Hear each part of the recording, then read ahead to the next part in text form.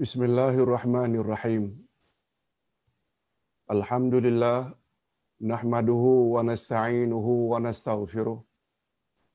Wa na'udzu billahi min shururi anfusina wa min sayyiati a'malina. Man yahdihillahu fala mudilla lahu wa man yudlil fala hadiya lahu. Ashhadu an la ilaha illallah wahdahu la syarika lahu wa ashhadu anna Muhammadan abduhu wa rasuluh la nabiyya ba'dah. Allahumma salli wa sallim ala nabiyyina Muhammad wa ala alihi wa sahbihi ajma'in amma ba'd. Hadirin dan hadirat serta para pemirsa yang saya hormati, Assalamualaikum warahmatullahi wabarakatuh. Alhamdulillah kita bersyukur kehadirat Allah Azza wa Jalla. Berkat taufiknya kita diberi kesempatan sekali lagi untuk mendalami selok-belok agama yang pada pagi ini kita akan uh, kupas satu surah dalam juz amma yaitu surah At-Takwir.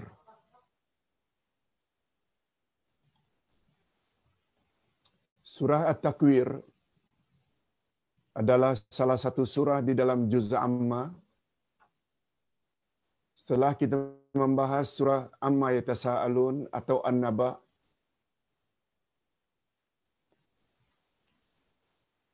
kemudian kita juga telah bahas surah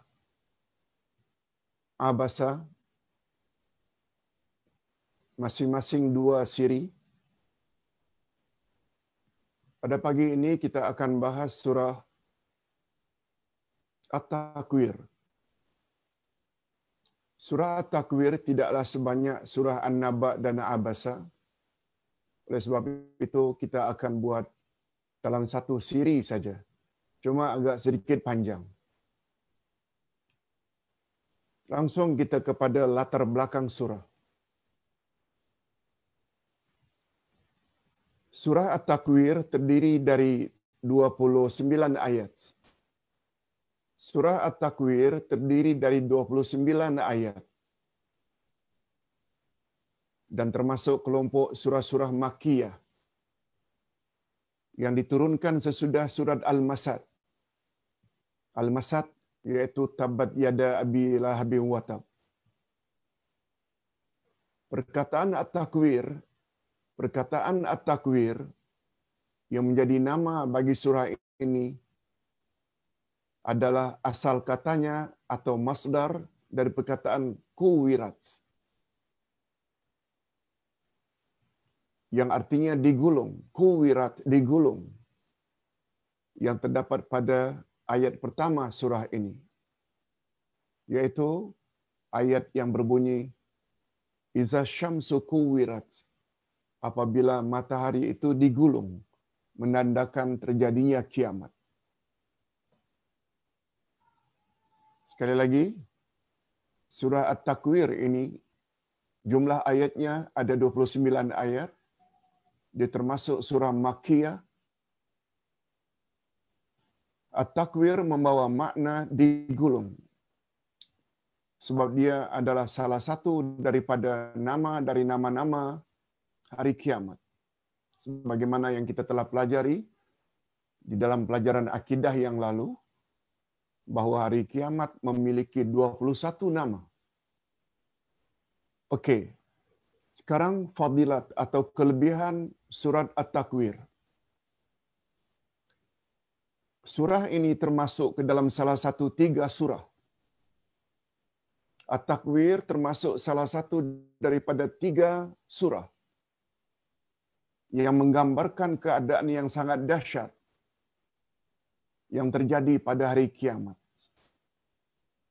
Jika kandungan surah ini direnung dengan cermat dan dihayati, tadabbur, surah At-Takwir ini bila kita tadabbur, kita hayati maknanya, maka seolah-olah kita melihat kiamat dengan mata kepala sendiri. Seolah-olah kita melihat kiamat itu terjadi. Dan kita lihat sendiri. Bukan sekedar baca, tapi difahami maknanya, direnung, seolah-olah kata Nabi, kita melihat kiamat itu dengan mata kepala sendiri. Dengan jelas.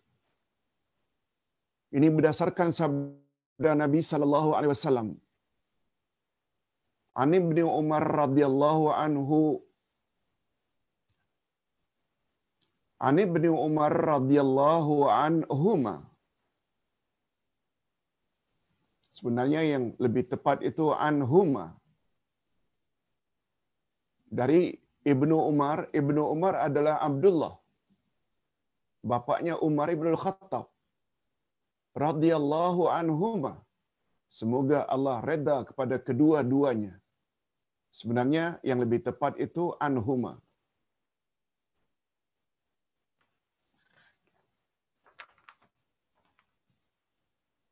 Ya, ini apa yang Ustaz tulis di dalam kitab Juz Amma, Juz 30, betul, Anhuma. Yang dalam nota yang Ustaz kirim ini dalam Facebook, sudah diperbetul, dan di dalam kitab sudah betul. Ani bin Umar radhiyallahu anhuma dari Abdullah bin Umar bin Al-Khattab Semoga Allah meredai kedua-duanya, yaitu Abdullah dan ayahnya Umar bin Al-Khattab. Qala, kata Abdullah bin Umar, Qala Rasulullah sallallahu alaihi wasallam, Man sarrahu an yanzura yawmal qiyamah, ka'annahu ra'ya aynin, falyaqra, idha syamsu kuwirat, wa idha sama'u fatarat, wa idza as-samaa'u inshaqqat akhrajahu al-imam Ahmad wa Tirmizi wal Hakim. Artinya dari Ibnu Umar radhiyallahu anhu katanya telah bersabda Rasulullah sallallahu alaihi wasallam Barang siapa yang ingin melihat hari kiamat seolah-olah dia melihatnya dengan mata kepalanya sendiri, maka hendaklah dia membaca surat At-Takwir hendaklah dia membaca surat Al-Infitar dan hendaklah dia membaca surat Al-Insyiqaq. Hadis ini dikeluarkan oleh Imam Ahmad, Imam Tarmizi dan Al-Hakim. Okey. Sekarang kita mula menafsirkan bahagian demi bahagian dari 29 ayat yang terkandung dalam surat At-Takwir. Kita mulai. A'udzu billahi minasyaitonir rajim. Bismillahirrahmanirrahim. Idza syamsu kuwirat wa idza an-nujumu kadarat وإذا الجبال سيرت وإذا العشار عطلت وإذا الوحوش حشرت وإذا البحار سجرت Terjemahannya Apabila matahari digulung apabila bintang-bintang berjatuhan, apabila gunung-gunung dihancurkan, apabila onta-onta yang bunting ditinggalkan, tidak dipedulikan, dan apabila binatang-binatang liar dikumpulkan, dan apabila lautan dipanaskan. Okey, itu baru namanya terjemah harfiah, literal atau direct translation. Ingat, terjemah Al-Quran ada dua jenis. Terjemah harfiah, seperti yang kita ter, baru terjemahkan. Yang kedua, terjemah maknawiyah. Dan untuk mendapat kesimpulan hukum, kita mesti merujuk kepada terjemah maknawiyah yang nama lainnya adalah tafsir Al-Quran. Ini dia tafsir Al-Quran. Di dalam ayat-ayat di atas Allah Subhanahu wa taala menggambarkan apa yang Allah gambarkan dalam ayat-ayat tadi. Betapa dahsyat peristiwa yang terjadi pada hari kiamat. Sangat dahsyat, luar biasa. Yang pertama dan yang kedua.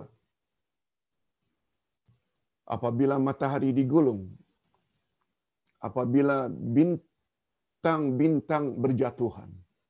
Oh, sistem di luar angkasa, di langit, sudah jadi rosak. Matahari digulung. Bintang-bintang berjatuhan, berserakan. Maksudnya, ah, ini tafsirnya, jika matahari digulung, cahayanya akan padam. Selanjutnya, bintang-bintang akan berjatuhan. Maka akan hancurlah alam semesta dan musnahlah penghuninya. Karena saat itu sudah tiba masanya untuk berpindah ke alam yang lain yaitu ke alam akhirat. Bukan alam barzakh lagi alam akhirat. Orang-orang yang ada dalam kubur semuanya akan dibangkitkan oleh Allah itu sebabnya hari berbangkit hari kiamat ada 29 nama dan dari maaf 21 nama. Dari 21 itu yang paling popular adalah Yaumul Qiyamah. Qiyamah diambil dari kata qiyam yaitu bangun, berdiri, bangkit.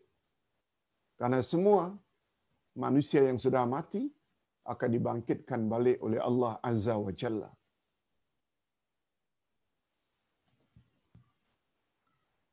Itu sebabnya kata orang Arab, kawartul amamah. Amamah ini serban. Oleh sebab itu bila seseorang yang memakai serban, lalu serban itu dililitnya. Dan dililitnya. Ini pekerjaan melilit ini dipanggil kawartu. Kawartu maknanya aku melilit amamah serban.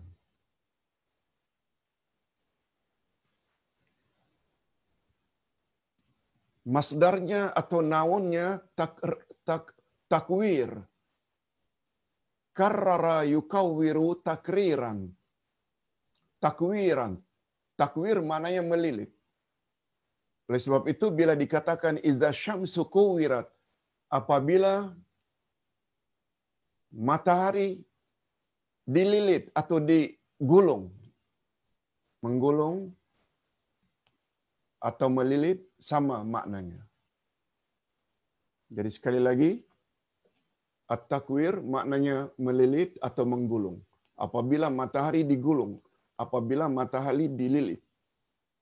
Okey. Ayat yang ketiga, dan apabila gunung-gunung dihancurkan, maksudnya gunung-gunung akan dicabut dari bumi.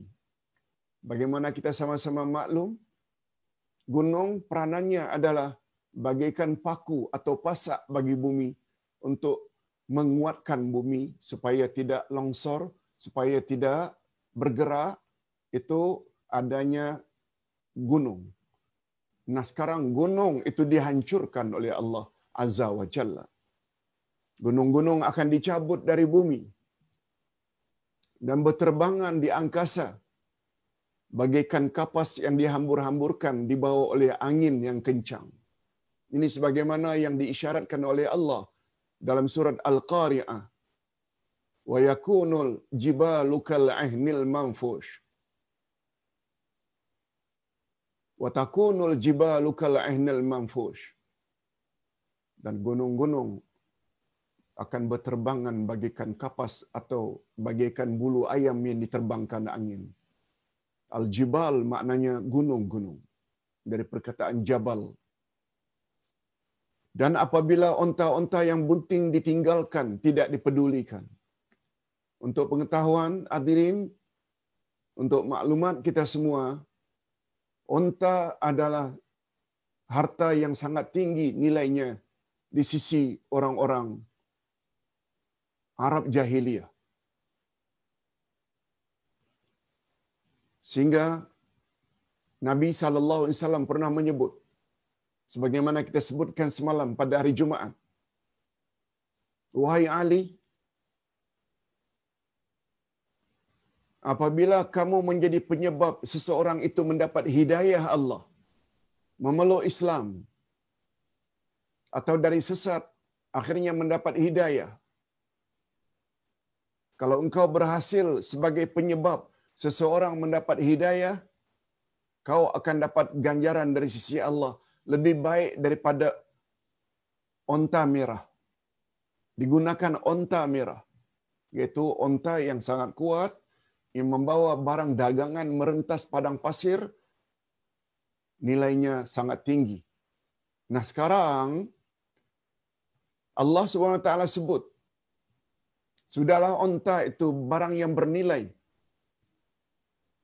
Bunting pula yang akan melahirkan anak. Bila kiamat terjadi, onta-onta yang begitu tinggi nilainya akan ditinggalkan. Maknanya tidak dipedulikan.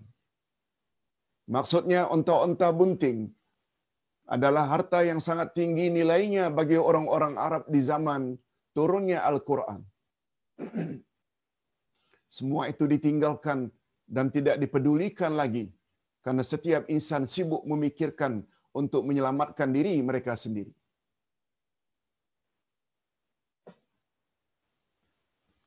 Ini sebagaimana kita jelaskan di dalam surat Abasa. Ibu bapa akan meninggalkan anak, anak-anak akan meninggalkan ibu bapa, suami akan meninggalkan istri, istri akan meninggalkan suami. Masing-masing meminta bantuan walau sedikit, semuanya enggan untuk membaginya. Karena apa? Semuanya sibuk dengan urusan masing-masing. Termasuk barang yang paling bernilai, onta pun ditinggalkan. Padahal onta tersebut tinggi nilainya, apalagi onta tersebut sedang bunting. Dan apabila lautan dipanaskan, Dan apabila binatang-binatang liar dikumpulkan. Apa maksudnya? Apabila binatang-binatang liar dikumpulkan, yakni binatang juga dihimpunkan di padang mahsyar untuk dihisap. Dan selanjutnya mereka akan dimusnahkan dengan menjadikannya sebagai tanah kembali. Jadi menurut akidah kita yang berpahaman ahlus sunnah wal jamaah, yang akan dikumpulkan untuk dihisap bukan hanya manusia dan jin tetapi juga yang akan dihimpunkan adalah binatang-binatang. Hanya saja binatang setelah dihisap mereka akan dijadikan tanah kembali. Masih ingat ayat terakhir dari surat An-Naba amma yatasaalun? Wa yaqulul kafiru. Orang kafir ketika itu ketika menyaksikan binatang-binatang dihisap dan akhirnya dijadikan tanah apa kata orang kafir? Wa yaqulul kafiru ya laitani kuntu turaba. Oh tuhan kiranya engkau jadikan saja aku ini menjadi tanah. Sebagaimana binatang-binatang itu engkau jadikan tanah. Karena apa? Orang kafir takut akan azab Allah. Sekali lagi, menurut akidah Ahlus Sunnah wal Jamaah yang akan dihisap nanti bukan hanya manusia dan jin, yang juga dihisap adalah binatang.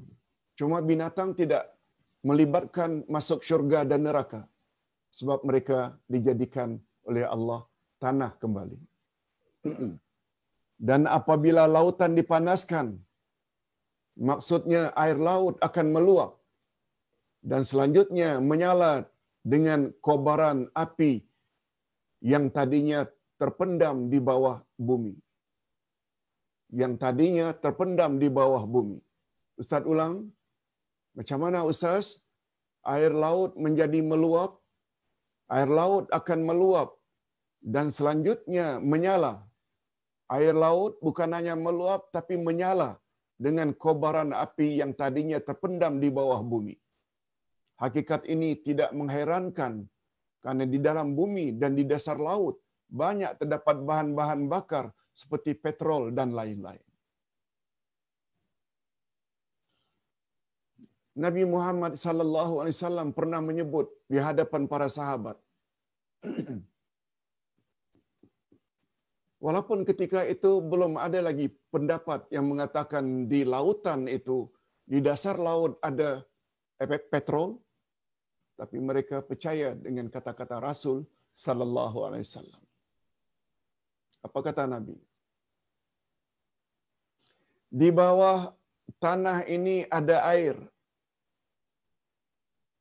Yang itu kita mudah faham. Sebab tanah bila digali akan ada mata air. Kita buat perigi dan lain-lain. Tapi apa kata Nabi? Non jauh di bawah air itu ada api. Di bawah tanah ada air. Di bawah air ada api. Menurut logiknya, api bila ditimpa air kan padam.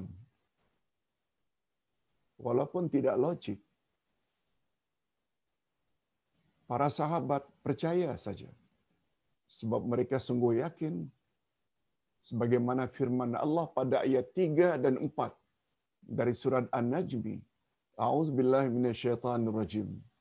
Wa ma yantiqu 'anil hawa in huwa illa wahyu yuha. Nabi Muhammad tidak pernah bercakap berdasarkan hawa nafsunya, tapi semua percakapan baginda adalah wahyu. 15 abad yang lalu tidak terdapat petrol diperolehi dari dasar laut. Sebagaimana kita hari ini, bila lalu di pesisir Terengganu, kita akan nampak ada api yang keluar dari laut. Setelah diteroka, diteroka rupanya ada petrol di bawah. Sebabnya umat akhir zaman sebenarnya percaya terhadap apa yang Nabi katakan lebih mudah berbanding dengan orang-orang dahulu.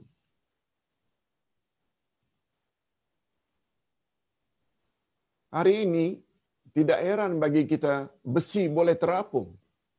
Adanya tanker. Besi boleh terbang, adanya kapal terbang. Tapi 15 abad yang lalu Rasulullah sallallahu alaihi wasallam menceritakan kepada penduduk Mekah bahawa beliau telah pergi Isra dan Mi'raj dengan begitu kencang dan cepat perjalanan yang begitu cepat yang diperlakukan oleh Allah terhadap Nabi Muhammad sallallahu alaihi wasallam dibenarkan oleh Abu Bakar. Itu sebabnya Abu Bakar mendapat panggilan As-Siddiq. As-Siddiq maknanya orang yang membenarkan apa saja yang Nabi sebut walaupun menurut logik macam tidak logik, tidak rasional, tak masuk di akal. Ini yang namanya iman. Okey, berbalik kepada ayat. Apabila lautan dipanaskan, yakni air laut akan meluap dan selanjutnya menyala dengan kobaran api yang tadinya terpendam di bawah bumi. Hakikat ini tidak mengherankan kerana di dalam bumi dan di dasar laut banyak terdapat bahan bakar seperti petrol dan lain-lain. Ini juga nanti apabila kita kaitkan dengan surah Al-Fil. Alam tara kaifa fa'ala rabbuka bi ashabil fil. Alam yaj'al kaidahum fi tadlil. Surat Al-Fil.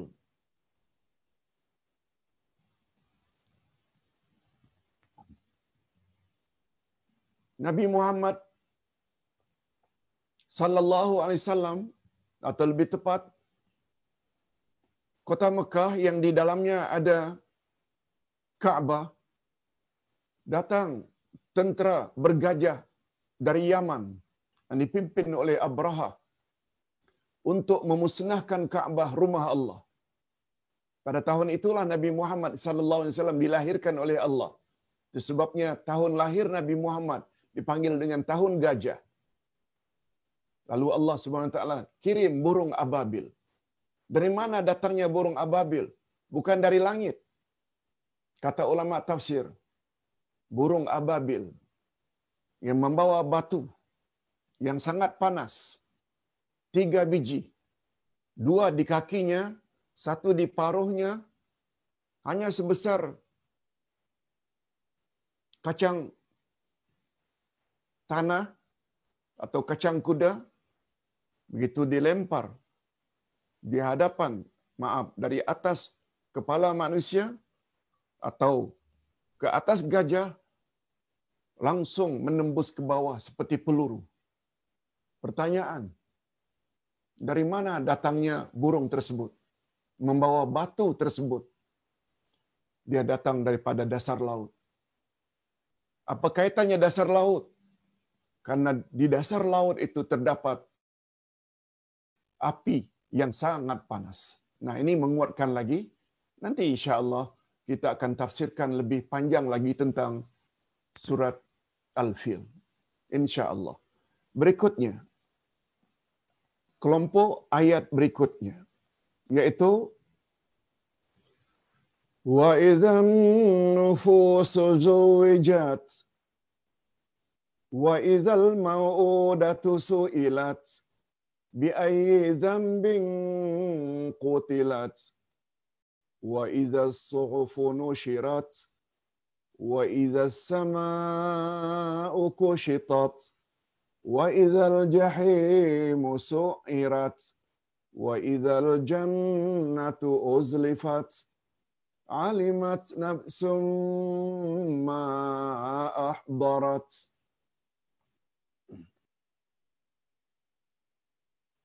terjemahannya dan apabila roh-roh dipertemukan dengan tubuh tubuh yang tadinya hancur dipertemukan balik. Sebab kebangkitan dalam Islam bukan hanya roh tapi roh dan jasad. Nanti kita akan jelaskan. Apabila roh-roh dipertemukan dengan tubuh apabila bayi-bayi perempuan yang dikubur hidup-hidup ditanya karena dosa apakah dia dibunuh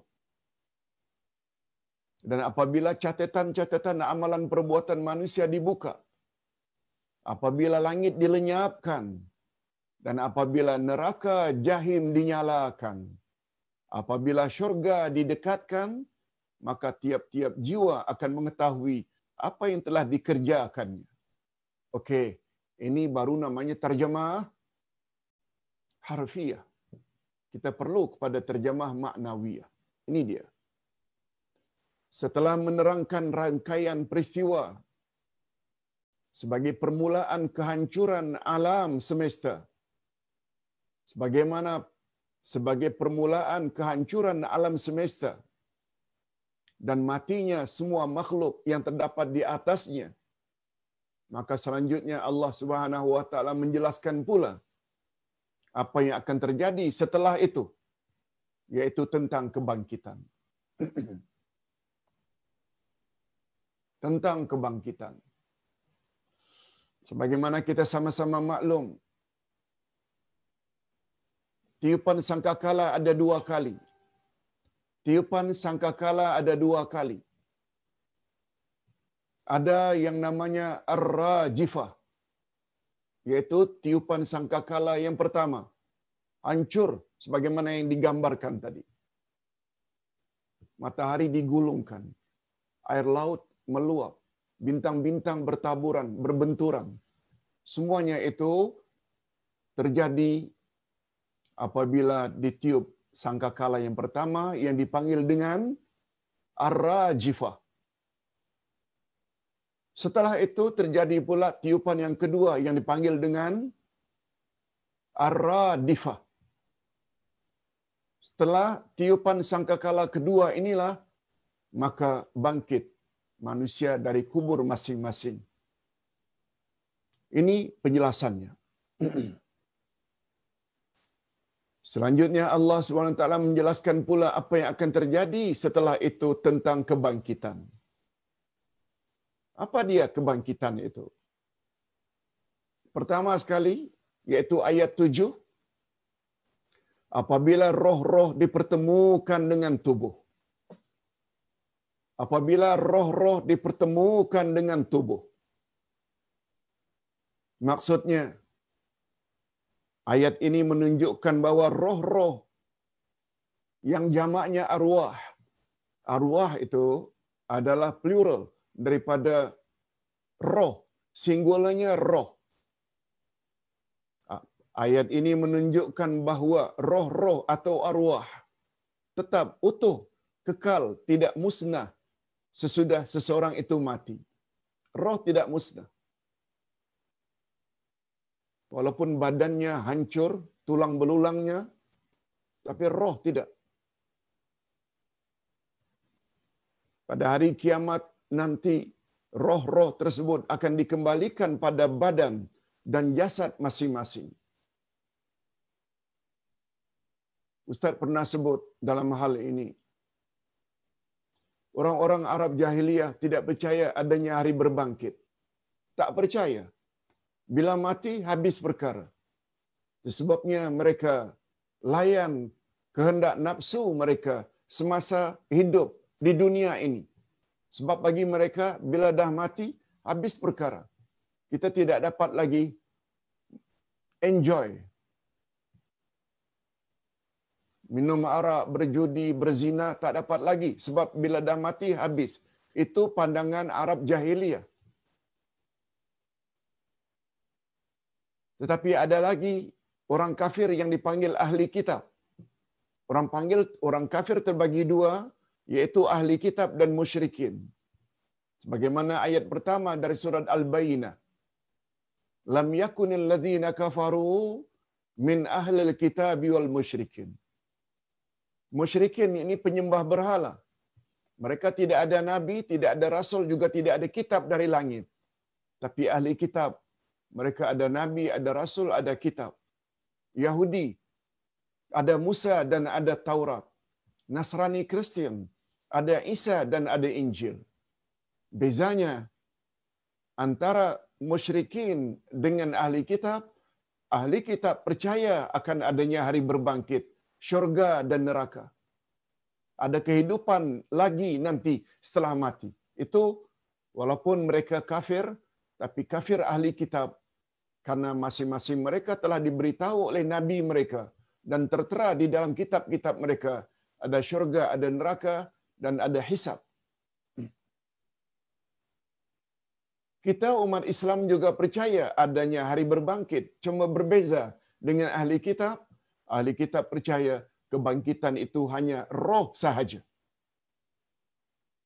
Ahli kitab percaya yang bangkit itu roh sahaja. Tapi kita yang berpahaman ahli sunnah wal jamaah percaya yang bangkit bukan hanya roh tapi juga jasad. Ini sebagaimana dijelaskan oleh ayat ini. Ayat ini menunjukkan bahawa roh-roh atau arwah tetap utuh, kekal, tidak musnah sesudah seorang itu mati, pada hari kiamat roh-roh tersebut akan dikembalikan pada jasad atau atau jasad masing-masing. Dan itu tidak mustahil bagi Allah. Sebab cara bekerjanya Allah sebagaimana ayat sebelum akhir surat Yasin, innama amruhu idza arada syai'an ay yaqula lahu kun fayakun.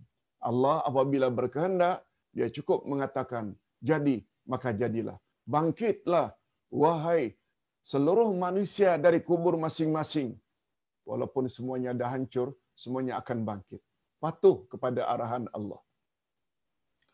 Nah yang ke-8 dan yang ke-9 apabila bayi-bayi perempuan yang dikuburkan hidup-hidup ditanya karena dosa apakah dia dibunuh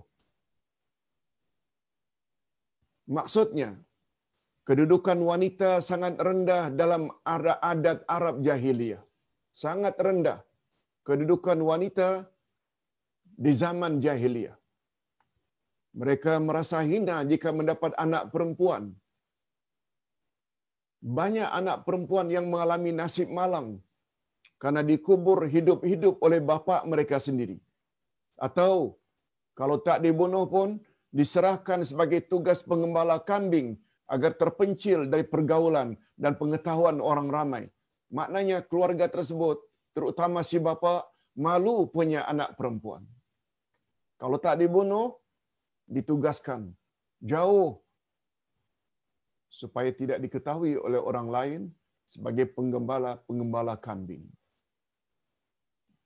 Di dalam ayat di atas Allah Subhanahu wa taala menerangkan bahawa bayi-bayi yang pernah dikuburkan hidup-hidup itu akan dihidupkan kembali di hadapan orang-orang yang membunuhnya dan selanjutnya ditanya karena dosa apakah mereka dibunuh. Ini yang dimaksudkan dengan akan dihisap. Kita teruskan. Dan apabila catatan-catatan amalan perbuatan manusia dibuka, ini pula maknanya, semua perbuatan manusia yang baiknya dan yang buruknya, semua tercatat di dalam buku catatan. Tidak ada yang luput walaupun sangat kecil. Ketika itu buku tersebut akan dibuka. Akan dibuka.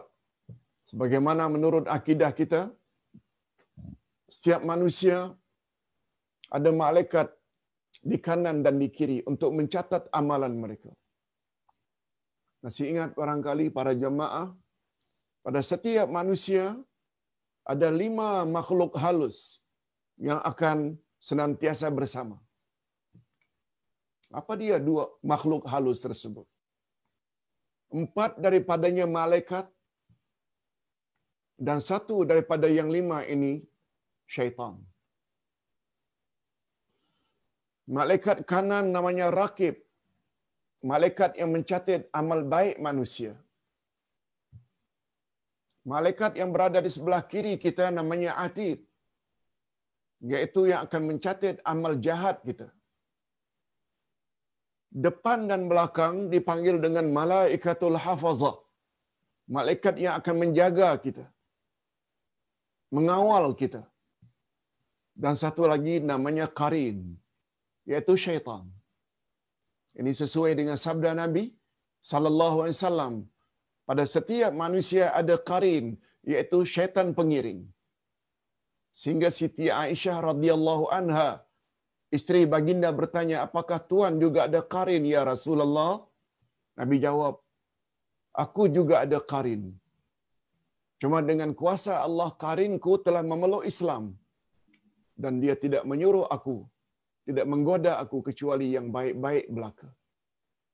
Ingat selalu, karin kita ini yang masih kafir senantiasa menggoda kita supaya buat perkara-perkara yang tak senonoh, yang tidak diredai oleh Allah Azza wa Jalla.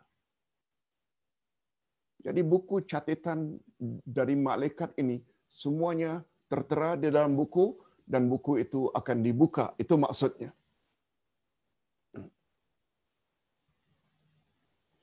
Dan apabila langit dilenyapkan, maksudnya langit dimusnahkan berikutan kehancuran semua planet yang ada di dalamnya. Kalau matahari sudah digulung, kalau bintang-bintang bertebaran atau berbenturan, air laut akan meluap, mengeluarkan api langit dimusnahkan berikutan kehancuran semua planet yang ada di dalamnya. Untuk pengetahuan kita hadirin dan hadirat dalam ilmu akidah kita akan bahas esok insya-Allah. Iman pada hari akhirat. Insya-Allah esok kita akan bahas bahwa di antara ciri-ciri hari akhirat kita kelak bila bangkit dari kubur kita akan berada di atas bumi baru bukan bumi yang sekarang dan kita akan berada di bawah naungan langit, langit yang baru. Kalau ada pun matahari, matahari yang baru. Itu nanti akan kita bahas dengan panjang lebar esok insya-Allah dalam bab akidah. Bukan bumi sekarang, bukan langit sekarang, bukan matahari sekarang, sebab semuanya sudah hancur. Begitu tiupan ar-rajifah, yaitu tiupan sangkakala yang pertama. Nah, kalau begitu kita nanti akan bangkit Di atas bumi yang mana Ustaz? Dinaungi oleh langit yang macam mana? Jawabnya semuanya baru. Yang kedua belas, dan apabila neraka jahim dinyalakan, dan apabila syurga didekatkan. Maksudnya, untuk umat manusia disediakan oleh Allah dua tempat sahaja. Disediakan oleh Allah dua tempat sahaja, yaitu neraka sebagai balasan untuk menyiksa manusia yang kafir dan durhaka. Nauzubillah min zalik. Mudah-mudahan kita terhindar daripada bernasib demikian. Dan satu lagi akan disediakan syurga bagi orang-orang yang beriman dan bertakwa. Mudah-mudahan kita termasuk ke dalam golongan ini. Allahumma ja'alna minhum. Ya Allah masukkanlah kami ke dalam golongan orang-orang yang layak memasuki syurga Allah. Yang keempat belas, pada tiap-tiap jiwa akan mengetahui apa yang telah dikerjakannya. Setelah bangkit dari kubur, berhimpun di padang mahsyar, buku dibuka. Ketika itu manusia baru mengetahui dengan sebenar-benar pengetahuan apa yang telah mereka kerjakan dulu di atas muka bumi. Kalau di dalamnya ada kebaikan, Alhamdulillah. Tapi bila di dalamnya penuh dengan maksiat, menyesalnya tak habis. Malah Ustaz berani mengatakan, andai kata buku catatan yang tercatat, andai kata yang tercatat di dalam buku catatan itu amal-amal baik belaka, mereka tetap menyesal. Mereka tetap menyesal. Sebagaimana sabda Nabi sallallahu alaihi wasallam. Tidak ada seorang pun yang sedang naza sakaratul maut, tidak ada seorang pun orang yang sedang naza sakaratul maut, tagar-gar, uh, uh, sudah nak mati, kata Nabi, tak seorang pun yang sedang naza kecuali menyesal.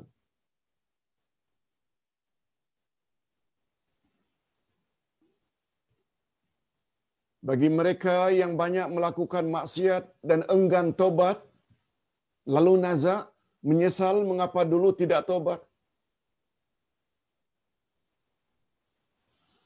Bagi mereka yang banyak melakukan amal saleh juga kata Nabi tetap menyesal Mengapa kurang banyak?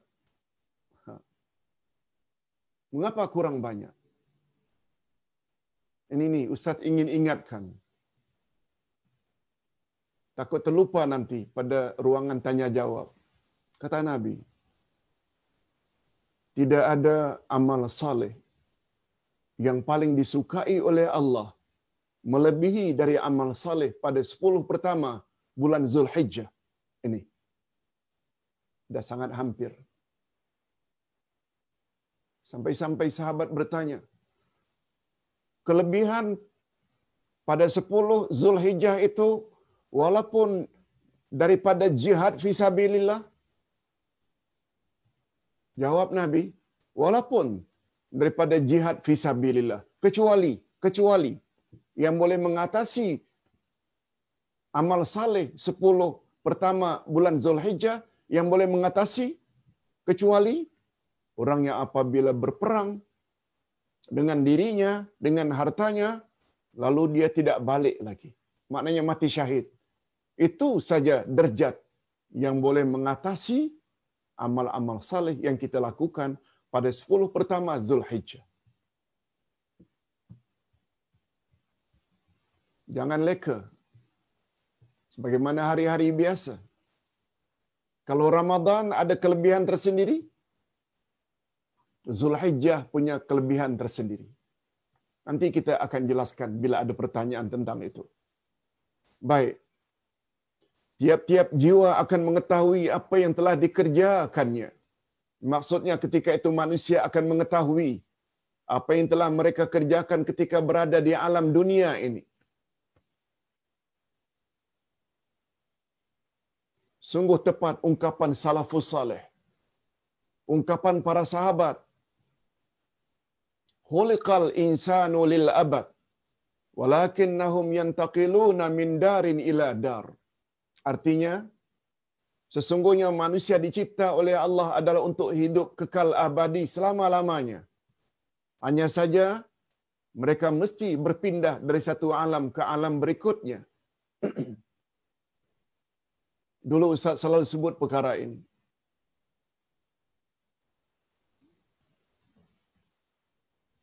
Khuliqal insanu lil abad. Manusia sebenarnya dicipta oleh Allah kekal abadi selama-lamanya. Tapi, cuma ada tapi. Tetapi, walaupun mereka dicipta oleh Allah untuk hidup selama-lamanya, tetapi mereka mesti berpindah dari satu alam ke alam berikutnya. Ada lima alam yang akan dilalui oleh manusia. Yang mesti dilalui oleh manusia. Di sini mungkin Ustaz sebut hanya empat saja. Sebenarnya alam pertama namanya alam roh. Cuma alam roh ini kita tidak boleh bahas. Sebab roh itu urusan Allah. Sebagaimana firman Allah pada ayat 185 surat Al-Isra. Maaf, ayat 85 dari surat Al-Isra. Yas'alunaka 'anir roh, qulir rohu min amri rabbi. Mereka bertanya kepadamu, hai Muhammad, tentang roh. Jawab saja, roh itu urusan Tuhanku. Wa ma utitu minal ilmi illa qalila. Sebab kamu tidak diberi ilmu kecuali sangat sedikit. Alam pertama namanya alam roh. Kemudian hasil perkawinan ayah dan ibu kita, akhirnya muncullah kita di dalam rahim ibu kita. Itu namanya alam rahim, alam kandungan. Beberapa bulan kemudian, keluar dari rahim, kita masuk alam dunia. Sekarang ini. Dari alam dunia kita akan pindah lagi ke alam barzah, namanya alam kubur. Alam kubur tidak selama-lamanya. Alam kubur akan berakhir bila terjadi kiamat. Nah, setelah kiamat bermulalah alam yang terakhir. Alam akhirat tidak ada penghujungnya.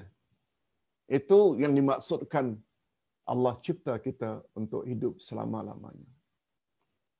Ketika berada di alam rahim, biasanya umur mereka hanya beberapa bulan. Kemudian pindah ke alam dunia yang biasanya umur mereka puluhan tahun. Sebagaimana sabda Nabi, umur umatku di antara 60 ke 70 kemudian berpindah lagi ke alam barzakh atau kubur yang biasanya lamanya sampai ratusan tahun. Kemudian akan berpindah lagi setelah kiamat ke alam akhirat.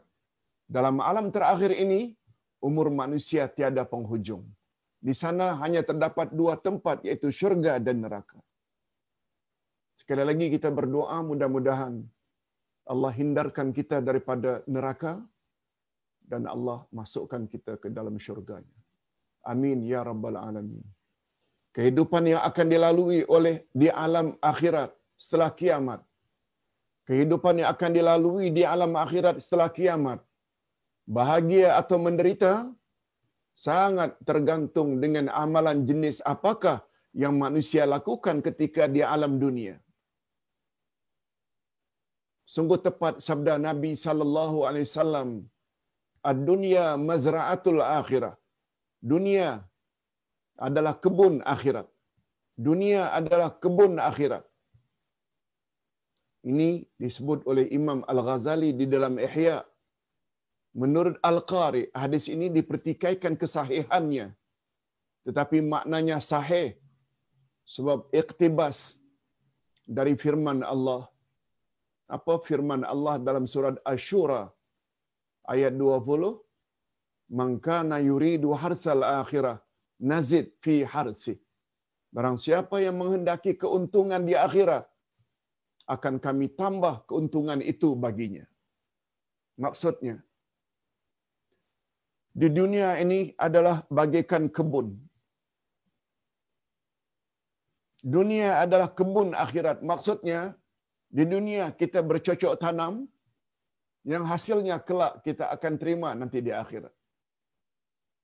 Sebagai contoh, Cocok tanam di sini bukan maknanya tumbuh-tumbuhan ya. Aktiviti, kegiatan. Kita hadiri majlis ilmu ini. Itu termasuk cocok tanam. Apa sebab? Sebab baginda bersabda, "Man salaka tariqan yaltamisu fihi ilma, sahalallahu lahu bihi tariqan ilal jannah." Siapa bersungguh-sungguh pergi ke majlis ilmu, niscaya Allah permudahkan baginya jalan menuju ke syurga.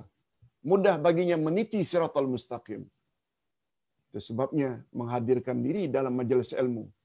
Secara manual ke, menghadirkan diri di masjid atau di dewan, atau secara live ke, online seperti ini, semuanya dapat dikategori ke dalam menuntut ilmu.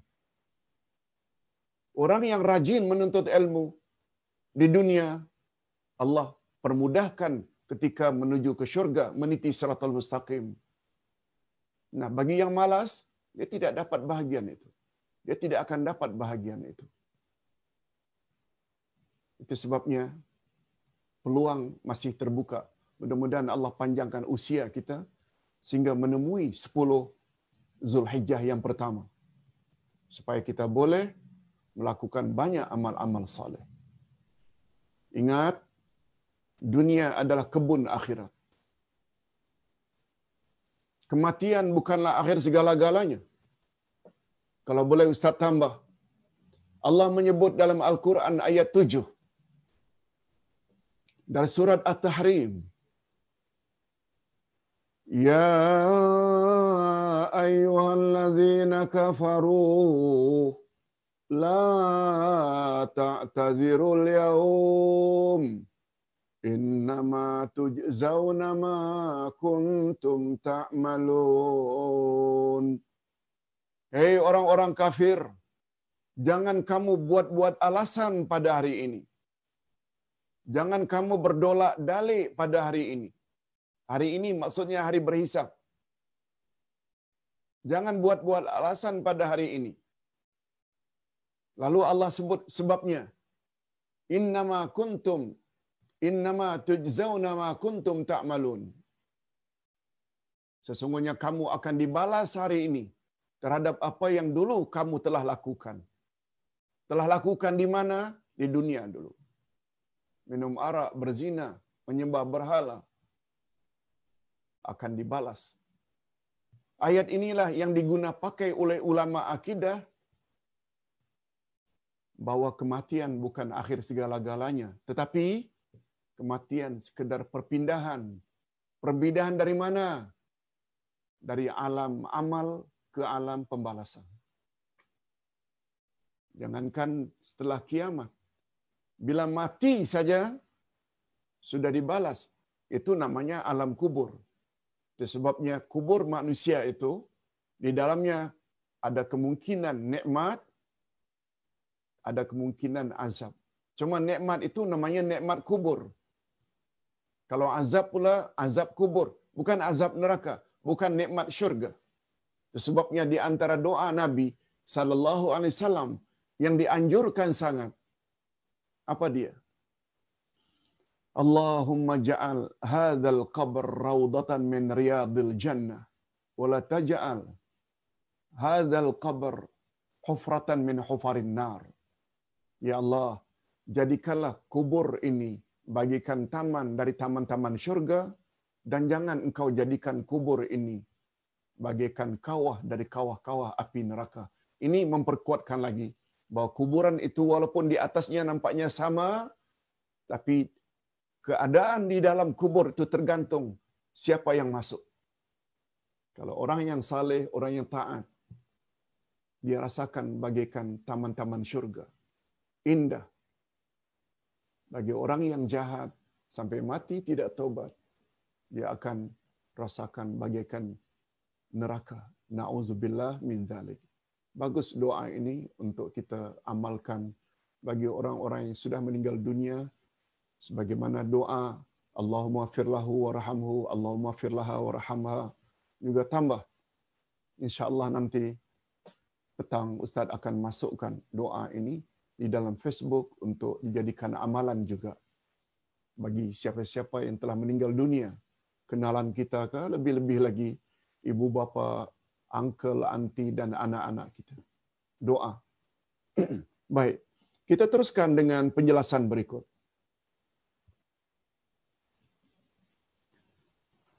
Fala uqsimu bil khunnas al jawaril kunnas wal laili idza as'as was subhi idza tanaffas Sungguh aku bersumpah dengan bintang-bintang yang beredar dan terbenam demi malam apabila telah hampir meninggalkan gelapnya dan demi subuh apabila fajarnya mula menyingsing. Okey, tafsirannya. Maaf, kita teruskan. Sungguh aku bersumpah dengan bintang baik. Okey, ini tafsirannya. Sungguh aku bersumpah dengan bintang-bintang yang beredar dan terbenam. Maksudnya, di dalam ayat ini Allah bersumpah dengan bintang-bintang yang beredar dan terbenam. Bintang-bintang tersebut tidak kelihatan pada siang hari, tetapi bersinar gemerlapan pada malam hari. Semua ini menjadi tanda akan kekuasaan Allah yang maha mengatur perjalanannya. Demi malam apabila telah hampir meninggalkan gelapnya, dan demi subuh apabila fajarnya mula menyingsing.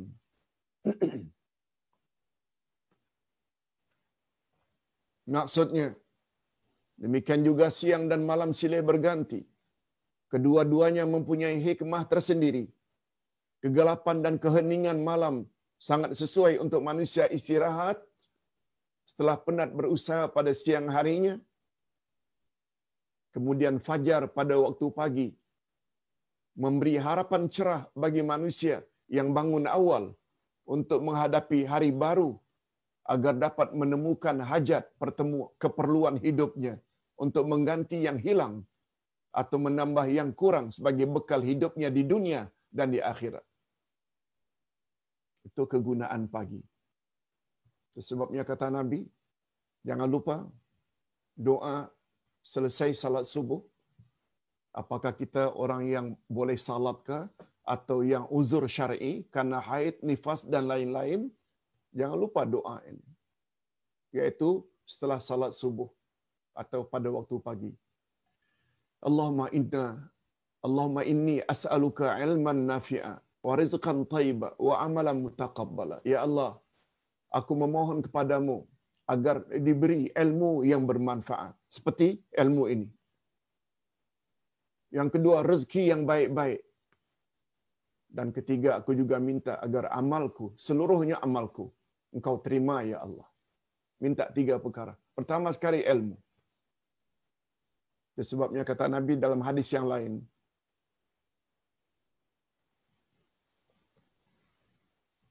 Hidup seseorang tidak diberkati Allah. Bila bila sejak terbit matahari hingga matahari terbenam, sedikit pun ilmu yang bermanfaat tidak bertambah baginya. Malas membaca, malas mendengar kuliah, tazkirah, malas membaca Al-Quran dan tafsirannya, hadis Nabi, tak mau. Sehingga tak bertambah. Seharian suntuk orang tersebut tidak diberkati oleh Allah Azza wa Jalla. Sebabnya jangan jadi orang macam itu. Okey, kita teruskan dengan ayat-ayat berikut. Innahu laqawlu rasulin karim. Dhi quwatin inda dhil arshi makin. Muta'in samma amin. Wa ma sahibukum bimajnun. Terjemahannya. Sesungguhnya Al-Quran itu benar-benar firman Allah yang dibawa oleh utusan yang mulia yakni Jibril. Quran benar-benar firman Allah yang dibawa oleh malaikat Jibril kepada Nabi Muhammad. Yang mempunyai kekuatan, maknanya Jibril itu mempunyai kekuatan yang luar biasa. Yang mempunyai kedudukan tinggi di sisi Allah. Yang mempunyai arash. Yang ditaati di sana di alam malaikat lagi dipercaya. Okey, siapa yang dimaksud yang ditaati di sana? Lagi dipercaya dan memiliki kekuatan. Semua itu merujuk kepada malaikat. Maksudnya Allah menjelaskan bahawa apa yang disampaikan oleh Nabi Muhammad sallallahu alaihi wasallam tentang peristiwa-peristiwa gaib termasuk tentang hari kiamat bukanlah kata-kata seorang dukun atau bomo. Bukan. Itu bukan ramalan. Akan tetapi semua yang baginda sampaikan itu adalah wahyu yang dibawa oleh malaikat Jibril dari Tuhan. Ini keyakinan kita. Ayat yang ke-20. Yang mempunyai kekuatan, yang mempunyai kedudukan yang tinggi di sisi Allah, yang mempunyai arash, yang ditaati di sana di alam malaikat, lagi dipercayai. Nah, apa pula maksudnya? Dalam ayat ini pula Allah menyebut lima sifat utama malaikat Jibril. Pertama, Jibril mempunyai kekuatan zi quwah dalam memelihara Al-Quran dan dia terhindar daripada sifat pelupa atau keliru.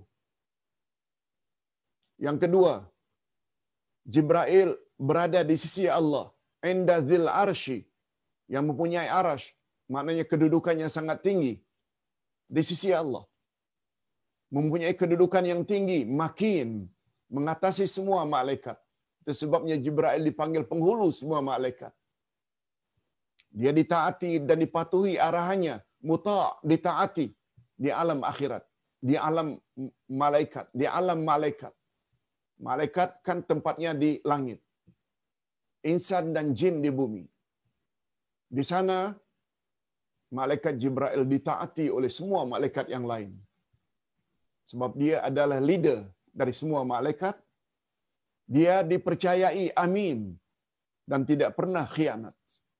Cukuplah cara ringkas begitu sifat malaikat pembawa wahyu yang diturunkan kepada Nabi Muhammad sallallahu alaihi wasallam.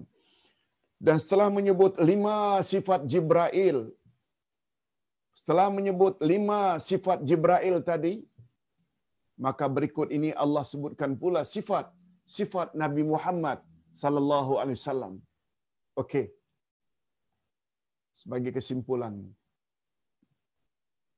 kata ulama tafsir, Ustaz tidak sebut di sini. Kalau malaikat yang membawa wahyu dari sisi Allah untuk disampaikan kepada Nabi Muhammad sallallahu alaihi wasallam. Zu quwwatin, sangat kuat. Makin hebat. Amin, amanah. Secara tersiratnya apa? Syaitan iblis tidak akan mampu menghalang tidak akan mampu menghalang malaikat untuk menyampaikan wahyu Allah kepada Nabi Muhammad. Apa sebab? Sebab malaikat Jibril itu sangat kuat. Tak akan mungkin boleh dikalahkan oleh Jibril.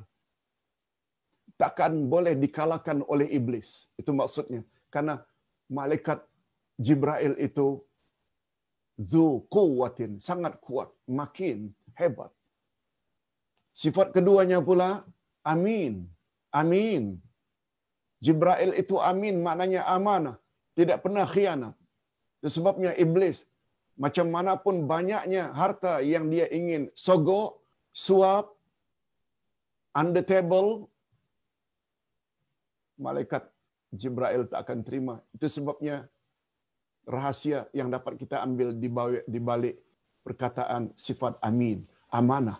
Sudahlah dia kuat, tak dapat ditakluk atau di uh, halang oleh iblis untuk menyampaikan wahyu pada nabi dia juga amin amanah tak dapat disogok manusia yang boleh disogok ini kan karena tamaknya.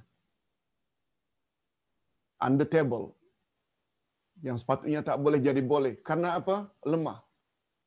Karena tidak amanah. Tapi Jibril selain punya kekuatan, dia juga adalah amanah. Itu dibalik mengapa Allah sebut sifat sifat utama Jibril seperti itu. Okey, sekarang sifat Nabi Muhammad sallallahu alaihi wasallam pula.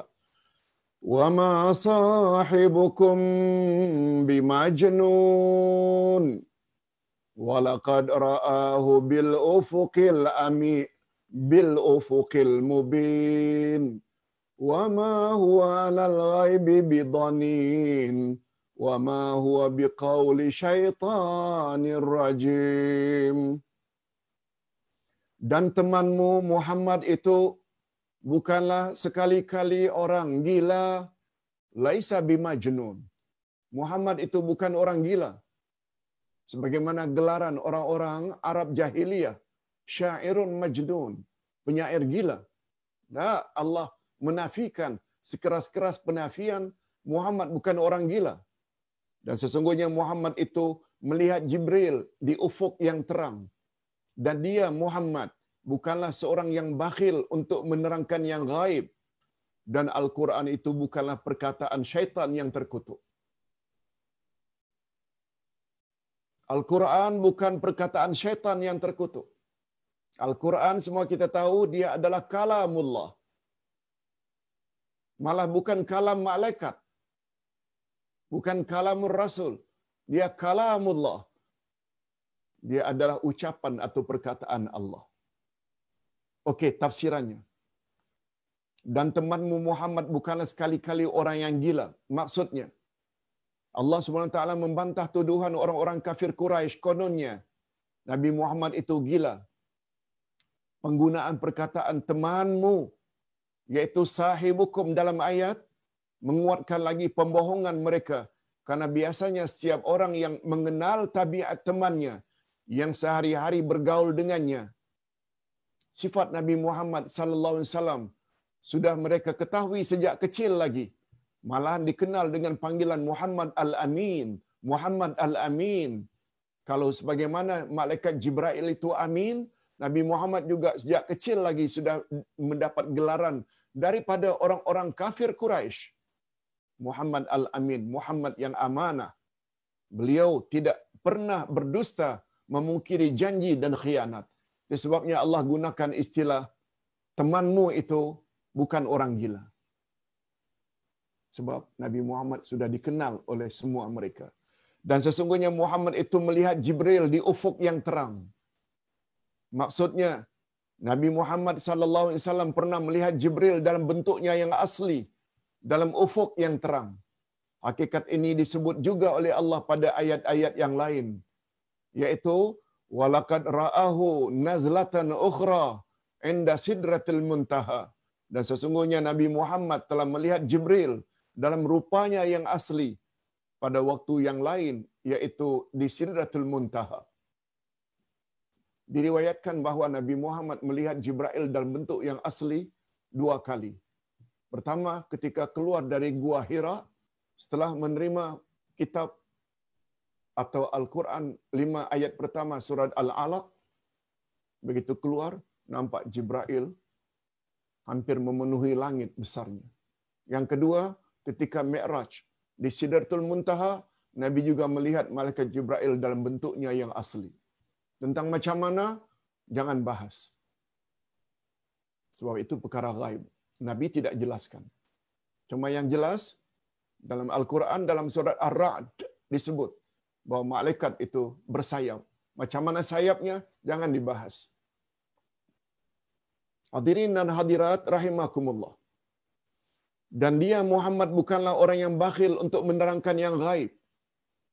Maksudnya, Allah menafikan sifat bakhil daripada baginda sallallahu alaihi wasallam untuk menceritakan segala perkara gaib yang telah Allah Subhanahu wa taala wahyukan kepadanya. Oleh itu, kita tidak sepatutnya meragukan segala kejadian masa silam dan kejadian yang akan datang yang diberitakan oleh Nabi Muhammad sallallahu alaihi wasallam. banyak kisah-kisah zaman silam. Itu juga termasuk perkara gaib. Sebab kita tidak menyaksikannya.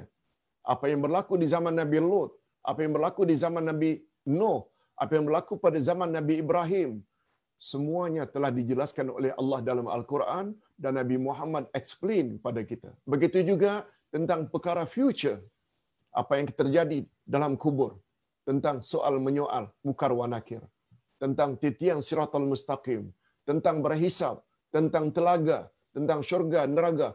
Semua itu adalah perkara future yang juga gaib. Bila itu datangnya dari Nabi Muhammad sallallahu alaihi wasallam secara sahih, jangan kata impossible. Jangan kata mustahil. Percaya saja. Nabi Muhammad adalah Al-Amin. Dan Al-Quran itu bukanlah perkara perkataan syaitan yang terkutuk. Termasuk perkara gaib yang kita sekarang ini. Apa kata Nabi?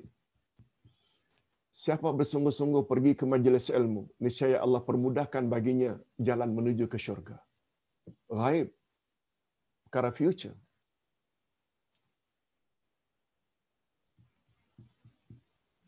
Setelah dibangkit dari kubur nanti, Allah akan buka kitab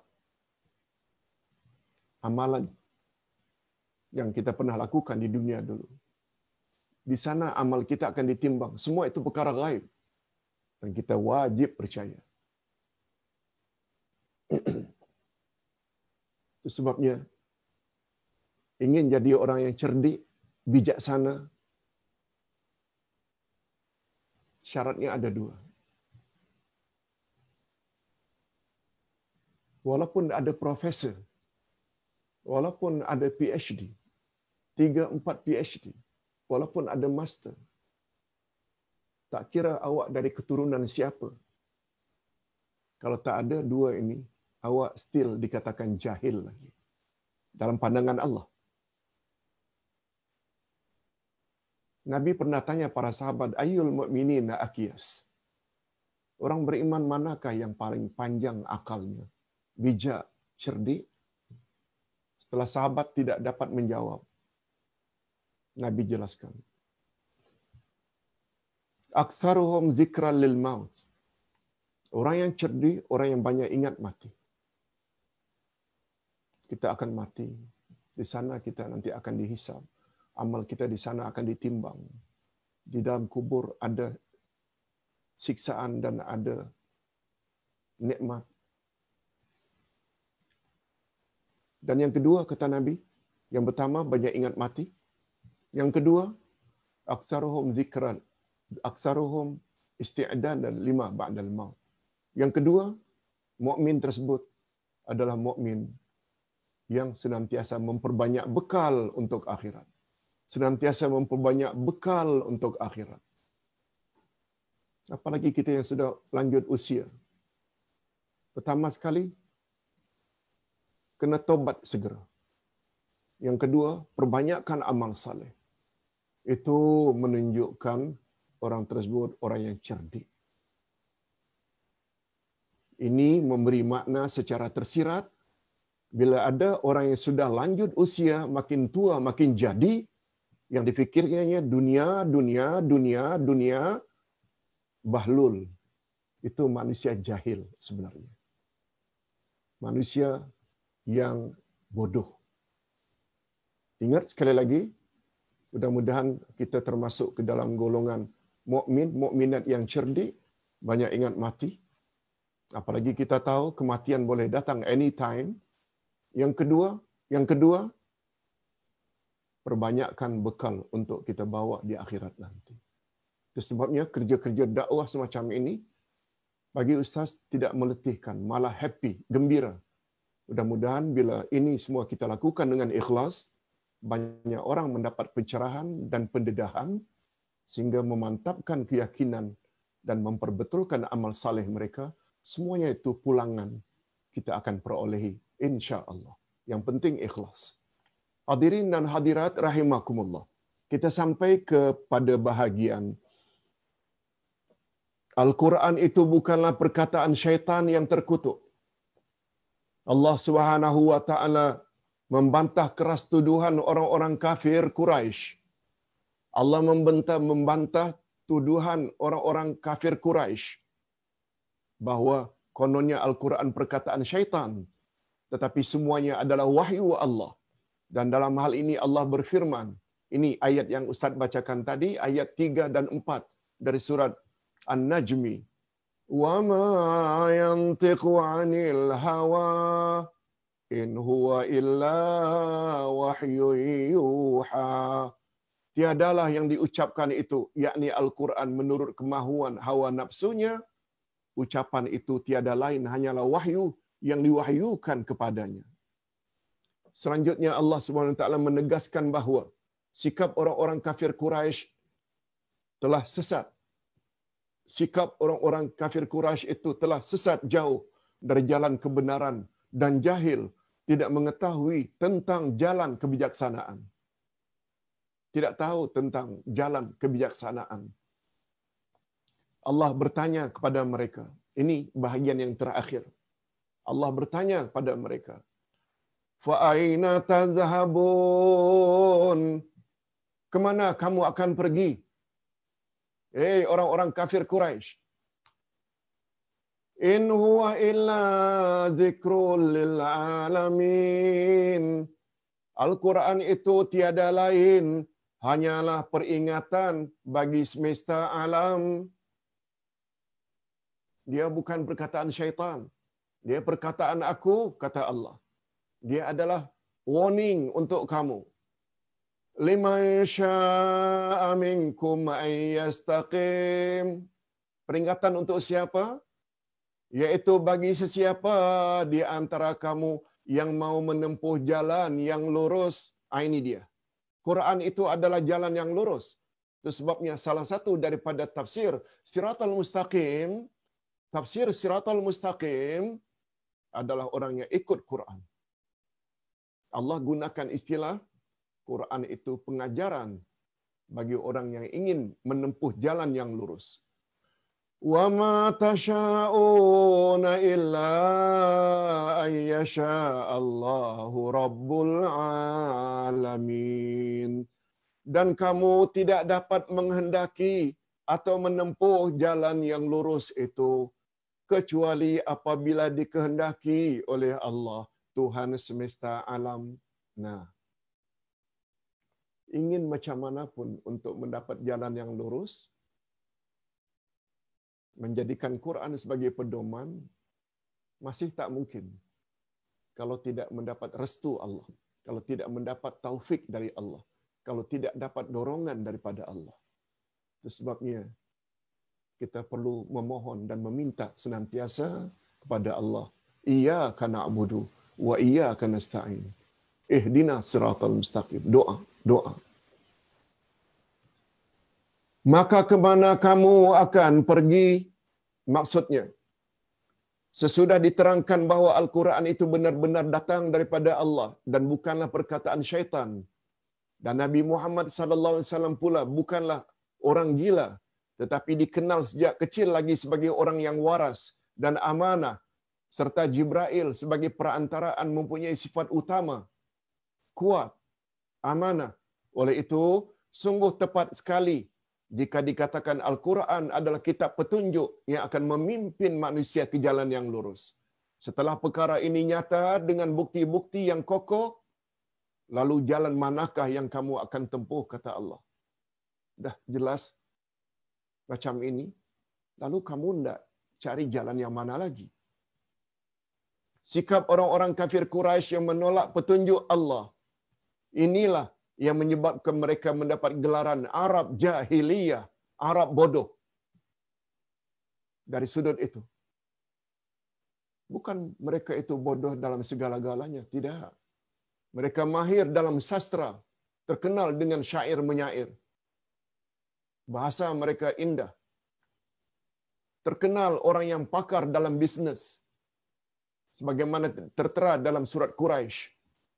Musim panas, musim sejuk, mereka berniaga. Tapi mengapa mereka dikatakan sebagai Arab jahiliyah, Arab bodoh, Arab jahil? Karena mereka dah tahu dah kehebatan Al-Quran, panduan-panduan. Kenal Nabi Muhammad, orang yang amanah sejak kecil. Mereka tetap tolak, tetap tolak. Ini maksudnya jahil mereka dari sudut itu. Jangan kita jadi orang-orang yang jahil, orang-orang jahil modern. Modern, tapi jahil. Karena tak mau ikut Al-Quran, tak mau ikut sunnah Nabi sallallahu alaihi wasallam.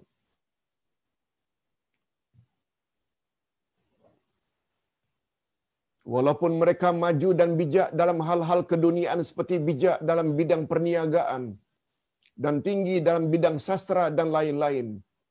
Renungkanlah hakikat ini. Hindarkan diri anda daripada sifat buruk ini. Kejayaan anda dalam bidang keduniaan jangan sampai mendorong anda untuk menolak kebenaran ilahi yang dibawa oleh Nabi Muhammad sallallahu alaihi wasallam Andai kata sifat-sifat buruk Arab jahiliyah wujud pada diri anda, maka anda tetap tergolong ke dalam orang yang jahil, walaupun anda seorang yang mahir dalam hal-hal keduniaan. Walaupun ada profesor, walaupun ada PhD, walaupun pangkatnya presiden, walaupun pangkatnya, ah serahlah, apapun, semuanya tidak ada nilai di sisi Allah Azza wa Jalla andai kata tidak banyak ingat mati dan tidak banyak membuat persiapan untuk hidup sesudah mati.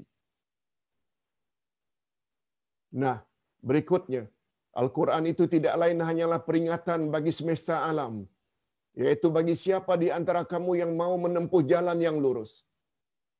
Allah Subhanahu taala menegaskan bahawa Al-Quran hanyalah peringatan bagi semesta alam, yaitu bagi mereka yang mempunyai kecenderungan kepada kebaikan.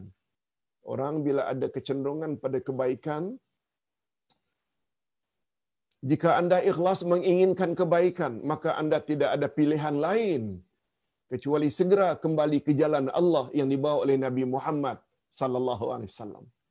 Inilah konten utama dakwah yang kita selama ini sebar-sebarkan.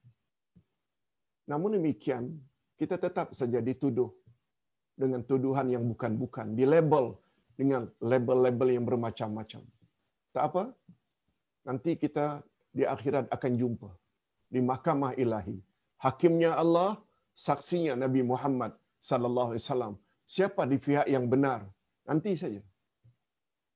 Tapi kita sungguh yakin bila kita ikut Quran, ikut sunnah Nabi, kita akan mendapat pembelaan dari Allah dan pembelaan dari Nabi Muhammad sallallahu alaihi wasallam nanti ketika diadili di padang mahsyar.